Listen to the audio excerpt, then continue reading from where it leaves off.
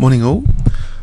One of my uh, friends in the Hertfordshire League, John Sharp, who plays a similar opening to my Grand Prix attack, um, but with Bishop B5, sent me another game today, very interesting game, against um, uh, Ashley Stewart, a, a very up and coming, promising uh, junior player who's over 190 now, and I think has, is also a fan of the channel. Uh, so both uh, very interesting uh, players uh, very strong club players. And this is um, Hemel Hempstead against Royston, played on the 18th of February. Okay, so very recently uh, of this year, 2013. So E4 from John Sharp, John, and um, now this Knight C3 and F4, and we and it looks as though it it could be uh, a Grand Prix system with Bishop C4. After Bishop G7, uh, Black is adopting the usual dark square control. Knight f3, knight c6. You can say that black's play is entirely logical, focused on the centre point d4, without question, without uh, controversy. And this next move, um, instead of bishop c4, bishop b5, which I have a personal intrigue with, because um, you know what what's what's the idea? Well, in in one respect, it kind of undermines black's dark square control, black might be thinking it's a good idea to get this light square bishop, but um, this next move is not without some controversy, knight d4, because what's really uh, happened is that, that that knight was intensifying some dark square control on d4 and e5. And in fact, if we can even extend that principle, that maybe even other dark squares later uh, are are going to be uh, harder to defend in this situation if black hasn't got control of these two dark squares. Uh, that's just an interesting idea uh, because after castles, uh, knight takes b5, knight takes b5. If we try and evaluate this position, from one perspective, okay, white's lost the bishop pair. How important was the light square bishop in this scenario? Uh, usually I do like the bishop sort of tucked away here, but sometimes it can even be completely blocked in with c4 later in the worst case scenario. This bishop might be less than useless on a2 sometimes. On the other hand, it can be quite dangerous in conjunction with f5. Uh, so these ideas of either bishop b5 or bishop c4 in this Grand Prix attack are very interesting. But this situation here, you might think is also odd. What is this knight doing on b5? Can't black usefully uh, gain tempo on that knight or exploit it in some other way, even if it's not directly with a6? You might think a6 and then b5, but still, black has loosened the dark square grip here. If you look at it, white might even be able to play d4 because without that knight, there's less of a grip on the dark squares. So it's a double-edged sword, this position. This transaction that has occurred here is very interesting to test our evaluation understanding, I think. Uh, is, is it really uh, the case that the bishop pair, losing the bishop pair, uh, is justified uh, for this extra dark square control. Well, we see now d5, and actually uh, white is not wanting, uh, for example, to invite the exchange of queens here with d3, which might be on the cards, uh, or there might be something even worse. White actually plays e5, and you see with e5 that Actually, f6 is being poked into, but on the downside again, f5 could be a good uh, place for a knight, for example, as a blockade square. And actually, black hones in on that, knight h6. And we see now d4, and, you see, and, and we look at this position now, and this bishop is actually suffering a little bit. Even though white's given black an ideal blockade square, and light squares generally here and here, uh, th this this bishop is now biting granite on g7. Uh, so that's very interesting. By the way, there were some notes as an alternative to knight h6 given by John Sharp. Maybe we should check these um, in the second pass for the moment. Let's, let's, just go through the game and try and uh, have some basic evaluations. So here d4, and now uh, black plays c takes d4, which which is interesting because now there's a kind of frontal attack pressure on d5 uh, to consider. After castles, in fact, rook d1 now, and unless the bishop wants to be a target on e6 to say knight g5, this next move, um, well, e6 does seem prompted at some point, This next move delays e6, a6, more more pressure on d5, and now e6. Bishop e6 isn't even isn't even possible because of knight takes d5 there. Now um, you see this dark square control being um, de definitely being played out here, but uh, also the extension of that, even f6 now, is echoed. Believe it or not, because otherwise, you know, if black gets this this light square blockade, maybe it's it's no big deal uh, for for white this position. Or is it? You know, could could White in fact even use these dark squares? C5 and B6 has been weakened. Maybe a, a, clamp on, on these at some point. But this next move echoes F6. Um, I wonder if you can guess what White played here. So if I give you 10 seconds starting from now.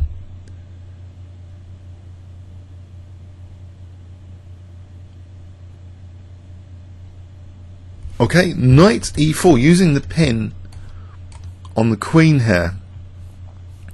So onto that f6 square, knight f5, and we see queen f2. And now it's a little bit tricky. Um, does black want to try and prevent, for example, g4 by playing h5? It seems a bit radical to weaken the king side a little bit more. Uh, this next move instead also seems a little bit uh, controversial h5 would also suffer though for the g5 square. That may be, um, well, maybe knight f g5. And is the queen going to really babysit the f6 square all the time in that position?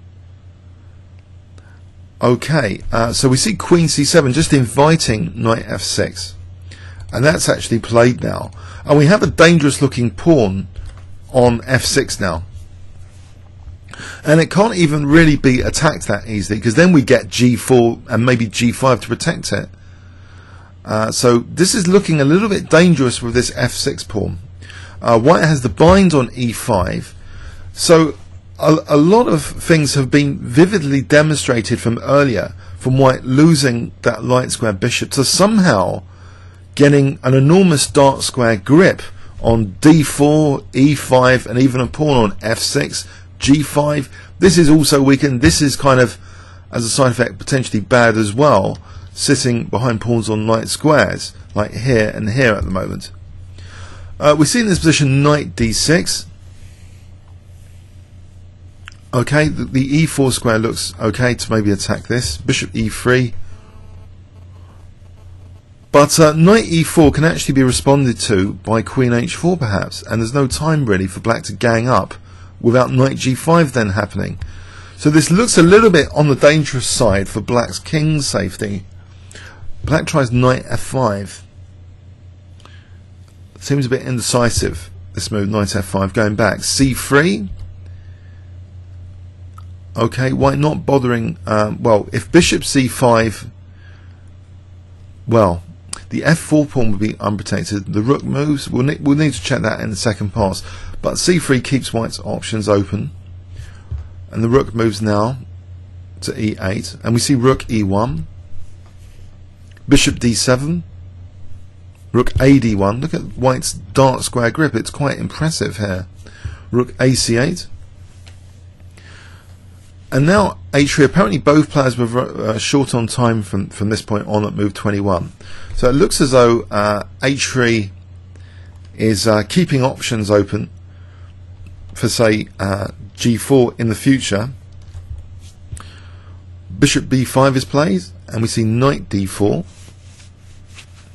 Knight takes e3 is played, and after queen takes e3, white is now threatening f5 with the menacing queen h6 to use that pawn, which is a kind of attacking unit in this position. We see now queen c5 heading for f8 potentially to defend. And for the moment, f5 is also ruled out because the rook is protected by the bishop here, so you can't go for this uh, f5 tactic like this on the rook on e8. Uh, queen e5 is played. The dark square grip is entirely impressive in this position. Uh, it it just seems amazing to me in chess how this can actually happen. That you can lose a light square bishop and get an enormous stamp on the dark squares, So this game is enormously impressive as an example, I believe, so far of that. If you look at White's dark square grip here, uh, the knight sitting very comfortably like a happy parrot, uh, perched there on d4. Uh, very difficult to undermine. Black's minority attack intentions are a long way off with b5, b4 here. A long, long way off. Uh, the bishop has to get out of the way as well. So this target on c3, this structure on the queen side, is intact for the moment. And black has king safety issues. So we see h5. And now rook e3 going in for the kill, it seems. You know, rook g3, there's going to be enormous tactical pressure, surely. Queen f8, rook g3. Now white has the immediate threat here, queen takes h5. And black needs to do something about that. Uh, but there's other threats as well on the horizon here. Uh, maybe, uh, for example, well, if this bishop ever moved or was taken off, then we might have simply uh, doubling rooks like this if d3 was available.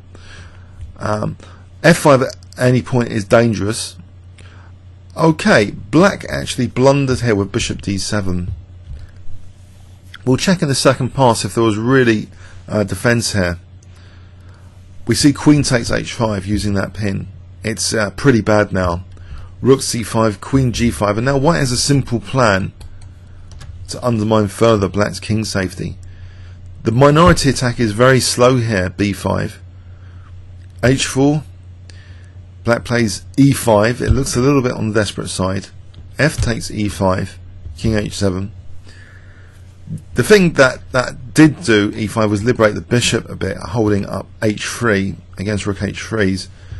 h5, rook g8. Now white played rook f3, which you might think, wow, wow, what's what is this about? But uh, the thing is, rook h3 was nearly played in as a time trouble blunder there, so I think the rook had to move somewhere. So that explains that move, mysterious move. Uh, I think it was this touch move, rule. Okay, it's best to play rook f3. It keeps the, the advantage intact because if g takes queen h5 is mate, rook c4 was played, and now just king f2. Nifty, just using the h file. After b4, rook h1, black had to resign. Uh, so, very interesting how losing the light square bishop can somehow get a grip, a stranglehold on dark squares. Uh, let, let's check this out from the start. And I think the engine must be confused by that transaction early on in this opening. Uh, I think it's just maybe too deep to understand. Move bishop b5, knight d4 after castles. Does the engine really think, well, actually, it's not that decided if anyone's got the advantage here after knight takes b5, knight takes b5? It's not that convincing. Okay, so we see d5, and white's uh, given e takes d5 here is an interesting move. That does actually uh, take a pawn uh, for the moment. If queen takes d5, then knight c7 check, and if a6, knight c3, knight f6, black's going to regain that pawn surely. d4, knight d5, d takes c5, just testing this. White might be a little bit better here in this position, but it's not as fun as the game continuation, keeping the queens on. Treble pawns don't look too healthy. Black should be fine, actually, absolutely fine. Forget that. So, this looks an interesting alternative, e5. It blunts the bishop, but it offers a blockade square, f5. So there's ups and downs of this e5 move. Um, Okay, we see knight h6. And uh, analysis given by John here, instead of knight h6, a6. I'll just follow his tree actually. a6. He actually sent me an annotated PGN with some. Uh, this is his variation: knight c3, bishop g4, pinning d4, cd4, queen d4, e6. In this position now, queen b4. Interesting b5 and I think this is about equal this position here but white's dark square control is evident there. Now another alternative instead of knight h6 here another alternative is d4. So we see c3, for example, a6, knight going back, d3, knight c4, b5, knight e3, knight h6, b3, after knight f5, queen e1, it's about equal again. But white has interesting prospects still, I think, in this position. Uh, it's not too bad for white. This bishop doesn't look too healthy at the moment, but uh, it could be a short-term problem. Okay, so after knight h6, we see d4, cd4, queen takes d4. Actually, white is already threatening in this position, queen takes d5. If we see knight f5, queen takes d5 looks possible here because of this tactic again, that cheeky tactic. So in this position, uh, black castling actually indirectly defends d5 here. Okay, uh, was there any other complication of that? After knight f5, queen d5, there's a complication here, queen b6 check. White still might be okay here, nicking that centre pawn. White might be okay, slightly better, but there might be some dynamic, you know, pressure compensation for black. Okay, so um, anyway, here black castled indirectly defending the pawn. Pawn is attacked, and we see a6. Uh, apparently, bishop g4, bishop f5, worth considering. I think this this is more dynamic for black. This idea of just giving up the pawn. Say we say bishop g4, queen d5. This check again. It's it's just a more dynamic prospect. Just give up the pawn. Uh, try and undermine. In fact, black might end up being slightly better. This is a more dynamic way of playing it. Sometimes one has to think of dynamic ways of playing. Otherwise, strategic grip can become so evident if you just try and play normally. Uh, so here, you know, black has dynamic play, I would say. f6, it looks aggressive. Try and undermine uh, white's centre. Try and liberate this bishop. Uh, maybe that's going to be an easier to play position than the game. So in the game, we we saw a6 and black kind of humbly locking in uh, his own bishop. Now this move, uh, knight e4, is actually second best move. Knight a4 echoes dark square grip on this side of the board. Interesting, the engine mentions knight a4. Uh, let's just check that out for a moment. So say b5, knight c5. This is not a bad knight. Look at that bishop. It looks like a bad French defense nightmare bishop for a moment.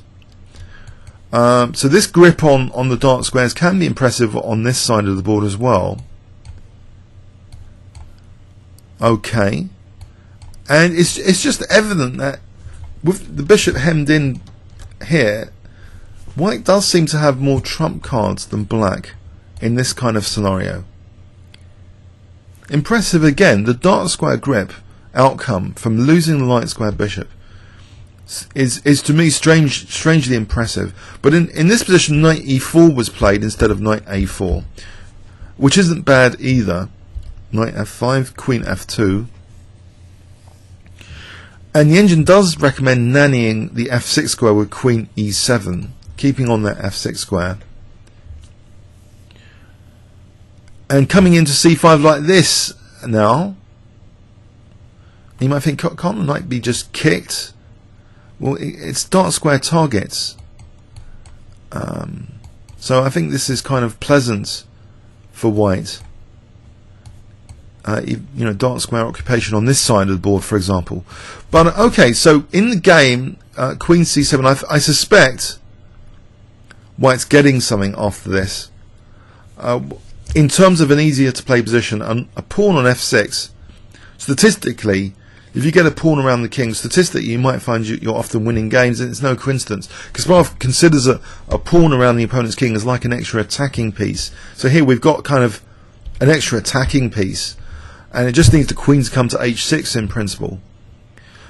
We see knight d6, which might not be the most accurate, but it's starting to be more difficult for black to play, I believe. Bishop e3, and there's all sorts of dark square implications, potentially. The knight goes back here, which seems a bit of a waste of time. I think it's just very difficult for black to play now, this position. White's got a clear advantage here, it seems. c3 keeps the dark square grip. Uh, maybe even more accurate, bishop c5. So say the rook moved, knight e5. This dark square grip is really impressive. Black can't even play b6 here. White does seem to have a huge grip on the position. Against g4, okay. Let's say bishop b6, occupying b6 for the moment, hemming in that bishop. This just seems unpleasant.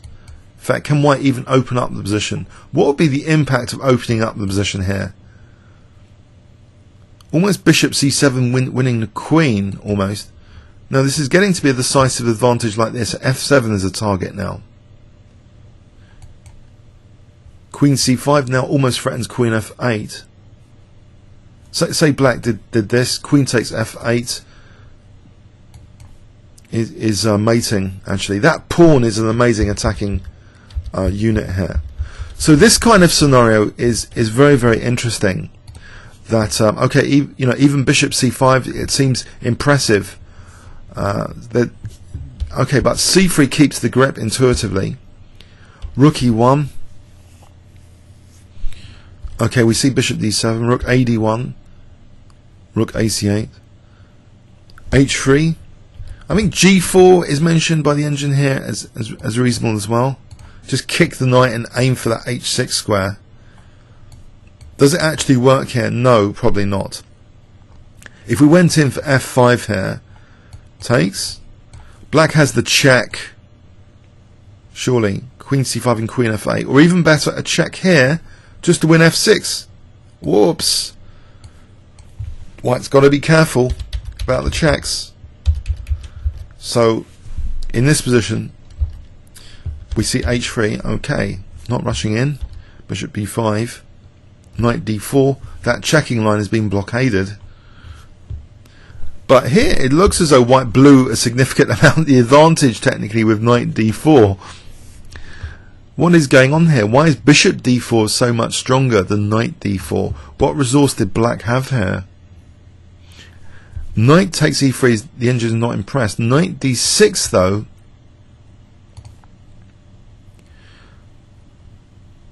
why is this any better for black?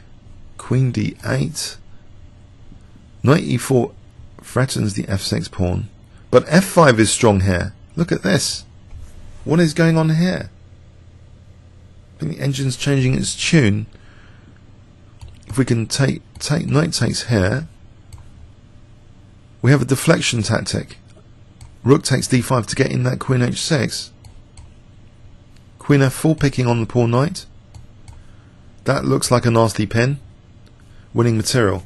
So, okay, it is dangerous. The pawn is dangerous. It's it's the double attack idea that it can create a loose piece here, if nothing else. Uh, exposed on the d file here, it's it's it's um, overloading black potentially. So okay, knight takes e3, queen takes e3. White's definitely just threatening. f5 is one of the threats, one of the major threats. As well as taking a rook d5 because of the pin on this e8, because that pawn is forming a mating net with queen takes e8 potentially after knight b5, rook d5. Okay, so we see queen c5 now f5 was actually uh, possible here apparently. In any case, if f5 ef, you'd think, okay, queen 8 e8 is ruled out, queen h6, queen f8, queen takes, king takes to keep possession of the e file, knight takes, a takes, rook takes, rook takes, rook takes. It's maybe a better ending for white. Look at these fragmented pawns. Uh, this this might be pleasant to play, but uh, it's not as much fun as trying to trying to win in that middle game. Why not just try and win in the middle game here? Keep the queens on. So we see Queen E5, which is the slower route, more prosaic, to get to H6 potentially. Uh, we see H5, Rook E3, and the Rook can also join in. Queen F8, Rook g3, threatening now queen takes h5 is, is the major threat, of course. Now let's see what happens. If king h7 instead of bishop d7, the blunder here, I think white's better, isn't it? Knight f3 threatens an annoying check here. I think Black's had it really. I suspect. Let's give the engine some depth here. I just think there's there's going to be a killer move in this position. A crunching move. There has to be. Black, you know, White has uh, one, two, three attacking pieces there. Four if you count the pawn. Black has only one defensive piece. Well, this is kind of indirectly, I suppose, defending h5. Now here the engine's coming up with rook g5. That does pin the pawn against d4. So let's go with rook g5, queen h6. And have a look at this. There must be something here. b3 is the best it's coming up with. King h1, there's nothing is mentioned. Maybe black was solid enough, solid enough to stave off being mated here. But let, us okay, let's let's drive this forward here, this position, as an example. Chase the bishop back. It's a bad bishop anyway. Okay, let's imagine black wants to do that. Well, white is celebrating a dark square grip here. Um, queen f6, there's knight takes c6, winning winning the piece. Uh, so that f6 pawn is now immune here, so it looks extremely miserable. Just to demonstrate that, queen f6, knight c6 wins a piece. So this position is looking like a, an absolute nightmare. There's no counterplay. White's surely building up here just on g6 now. This is becoming crunching here. Knight takes g6 and f7. Okay, let, us give black another move. Knight takes g6, and white can crash through like this. So I think it was just too bleak. It was unacceptable, the, the level of counterplay. It was too bleak. If white can just build up like that and build up, uh, it's, it's too bleak anyway. It's, it's gone. It's devoid of counterplay. It seems it comes down to black having to sacrifice the deep, d pawn much earlier on to get some counterplay. Um, it, you just risk white just having a free hand. Um, otherwise, it just looks such a miserable position. Uh, so anyway, this this just um, speeded up things really. It's it's all pretty gone now. White just has a plan of just using that H file. It's a forced mate in eight actually. Uh, so just using the H file, it's end of game. So anyway, I thought that was an instructive game actually. Um, so, um, and if anyone in the Herts League watching this video wants to send me your interesting games, um, please do uh, with some some notes, ideally annotated notes. Um, uh, that'd be that'd be cool. Uh, if you just message me, uh, say on YouTube. Uh, with your PGN, that'd be really interesting because there's some really interesting battles going on in the Hertfordshire uh, leagues. It's one of my favourite leagues at the moment. So well done to John Sharp and um, and you know better luck next time um, to to Stewart. Um, okay, uh, comments or questions on YouTube. Thanks very much.